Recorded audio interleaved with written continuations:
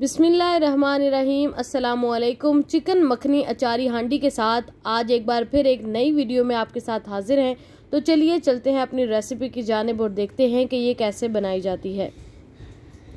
सबसे पहले मैं कढ़ाई में लूँगी बटर हाफ़ कप, जिसको अच्छे से हम लोग मेल्ट करेंगे और अब इसमें बोनलेस चिकन हाफ़ के जी में इसमें ऐड कर दूँगी।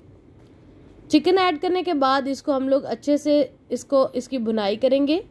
लाइट सा कलर चेंज होने के बाद इसमें हम लोग जिंजर गार्लिक पेस्ट ऐड करेंगे two tablespoon green chilli three अदद मैंने इसमें, तीन अदद मैंने इसमें ऐड किए हैं, वो भी क्रश करके।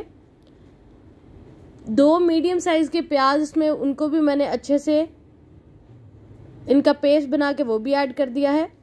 दो स्मॉल साइज़ के टमाटर भी मैंने इसके अंदर इनका पेस्ट बना के ऐड किया है। और इसको पाँच मिनट के लिए हम लोग हाई फ्लेम के ऊपर पकाएँगे।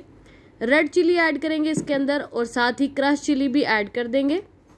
धनिया पाउडर ऐड करेंगे वन टीस्पून और नमक ऐड करेंगे अकॉर्डिंग टू द टेस्ट हल्दी ऐड करेंगे हाफ़ टी स्पून जीरा ऐड करेंगे वन टीस्पून।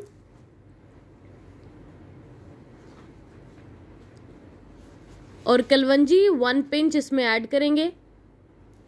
और दो मिनट के लिए हम लोग इसको अच्छे से पकाएँगे।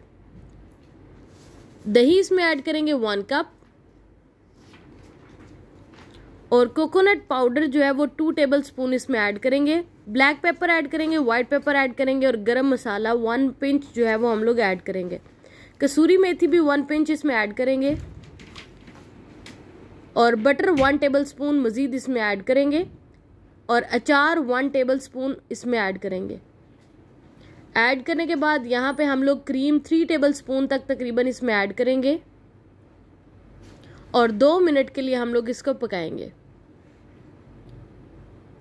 गार्निश करेंगे इसको हम लोग धनिए के साथ और यहाँ पे हमारी रेसिपी हो चुकी है कंप्लीट आप लोग भी इसको ज़रूर ट्राई कीजिएगा और कमेंट सेक्शन में अपने फीडबैक का इजहार ज़रूर कीजिएगा।